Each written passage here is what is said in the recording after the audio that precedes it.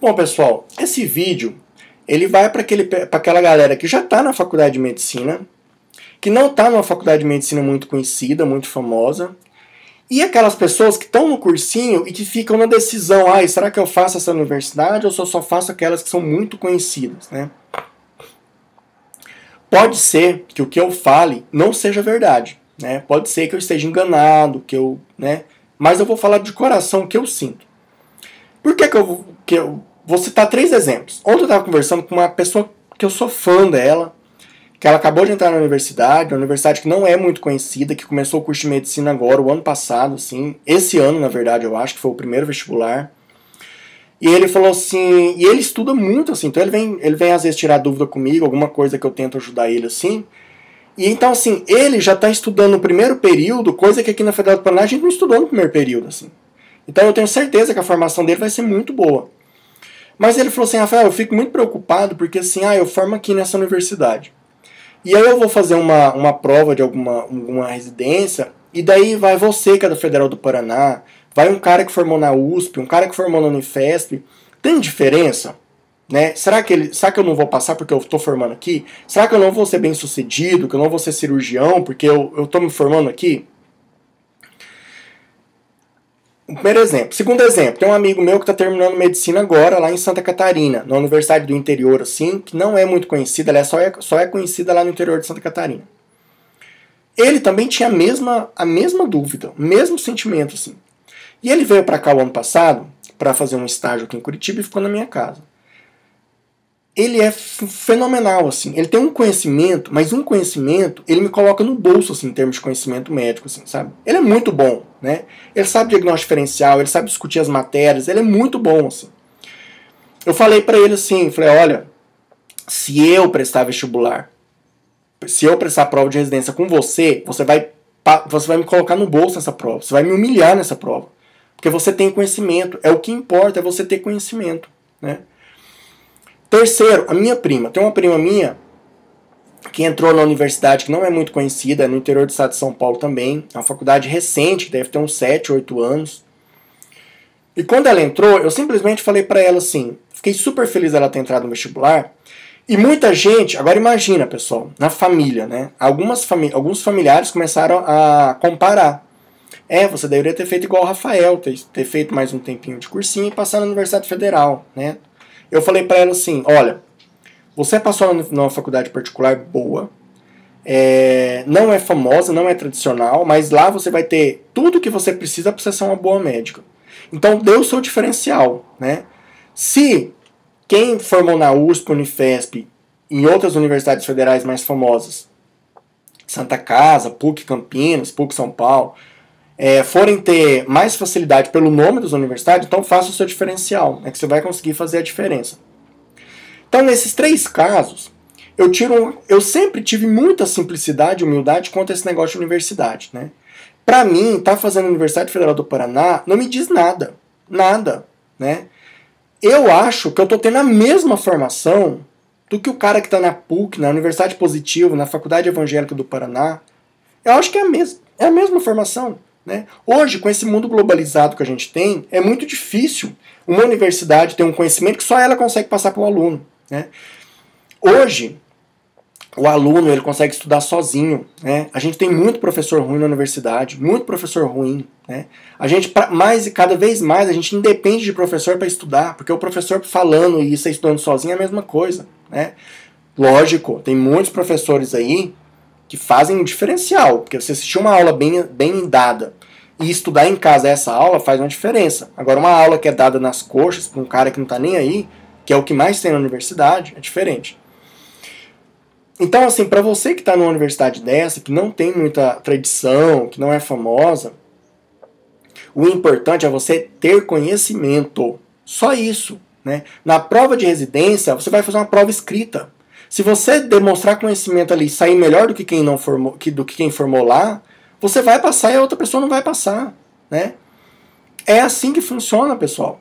E hoje em dia existem os med cursos, o med curso, o SJT, né, o medcel. O que, que, que é isso? Né? São cursinhos que preparatórios para prova de residência. Então eles nivelam os alunos. Então você no começo da universidade, né, você já pode pegar as apostilas desses cursinhos, as aulas desses cursinhos, e começar a estudar e tá com o mesmo nível de formação do cara da USP, porque o cara da USP também tá fazendo médio curso para passar na residência. E o cara que tem em Manaus também tá fazendo médio curso, o cara que tem em Fortaleza também tá fazendo médio curso.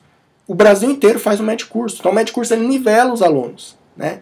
Então você vai ter conhecimento, né? Faça congressos, melhore o currículo de vocês, né? Tudo isso daí é muito importante para você já começar a ter uma, uma, uma, uma ideia de como vai ser o seu futuro, né? Ah, eu estudo na Universidade X aqui, ninguém conhece minha universidade. Mas o importante é eu saber, é eu curar o paciente, é eu aliviar o sofrimento do paciente, é eu fazer a diferença para alguém. Porque aí sim você vai ficar famoso, aí sim você vai ficar bem sucedido. Né? Através do, do reconhecimento, não de universidade, não de, de bam, bam, bam. O seu reconhecimento, o seu sucesso vai vir do paciente. Né? A gente fica tão preocupado com curso, com técnica, com universidade, esquece do principal, que é o paciente. Né? É o paciente que vai pegar se você é bom ou não e vai passar isso para frente. Se você for ruim, você pode ser formado na USP. Né? Se você for ruim, não é a USP que segura seus pacientes, vai ser mal sucedido, ninguém vai crer em você. Se você for bom, você vai ser bem sucedido. Né? Ninguém fica muito preocupado onde você formou, onde você não formou. Isso não vai fazer tanta diferença, porque o importante é você bom. A gente está chegando numa época que as pessoas estão tão ruins, que as pessoas estão tão ruins, que só você for bom já virou qualidade. Né? A obrigação nossa, que é ser bom, bom profissional, já virou qualidade. Né? Ah, eu vou naquele médico porque ele é bonzinho. Né?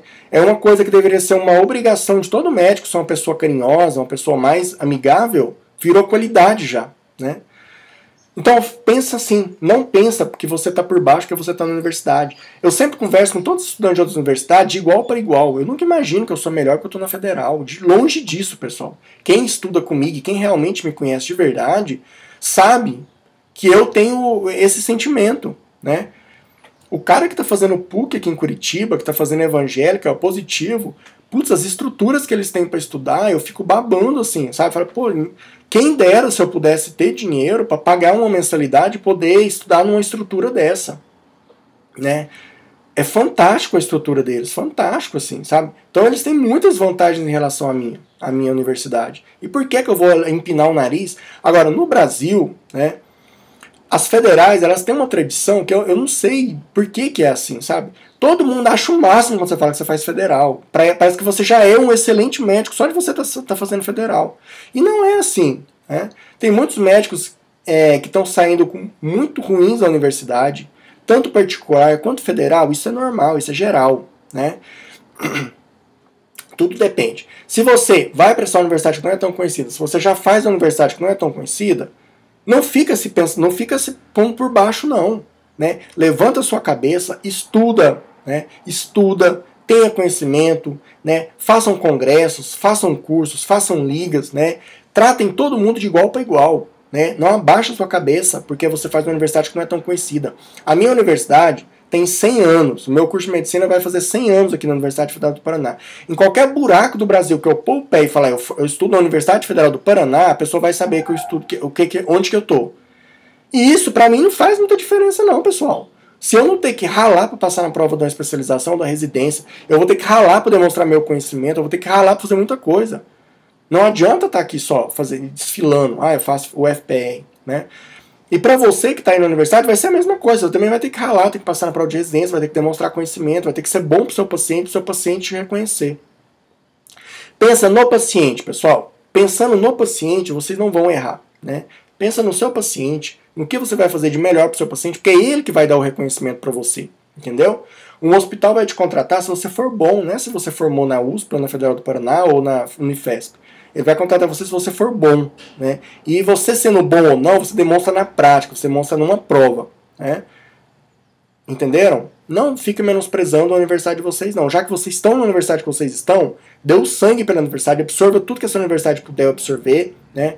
Não liga para piadas, não liga para hinos que as universidades cantam em, em, em, em nos, no, nos intermédios aí. Não tem isso não, né? Siga o seu caminho. Você que faz direito em universidades que não são muito conhecidas, gente, estuda, né? Você vai passar, vai ser desembargar. Conheço vários promotores, vários juízes aí que vieram de universidades assim que eu, eu nem sabia que existiam, né? Então depende do que você faz, né?